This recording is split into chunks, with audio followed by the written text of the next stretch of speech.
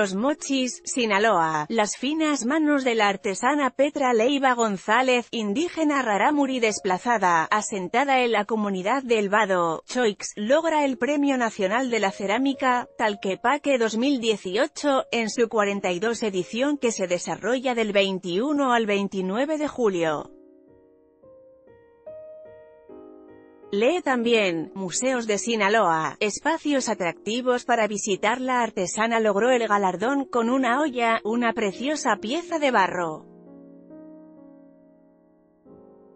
Ella forma parte de la delegación de artesanos de Sinaloa conformada por 15 integrantes de todo el estado, que participaron en este tradicional concurso que se celebra en esta ciudad del estado de Jalisco, donde participan los mejores artesanos del país en diferentes categorías.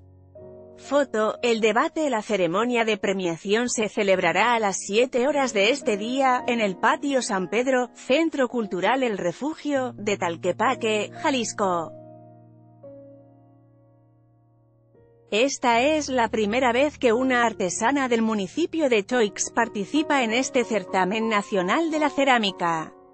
Lee también, de la Croix, la exposición más visitada en la historia del Louvre. Dicho concurso y expoventa de artesanías, es organizado por la Secretaría de Cultura, el Estado de Jalisco y el Fondo Nacional para él.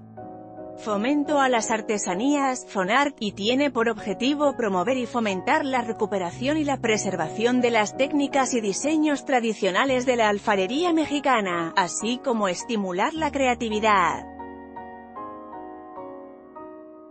En esta nota, reconocimiento Artesanías Premio Nacional de la Cerámica Tlaquepaque Choix Petra Leiva González.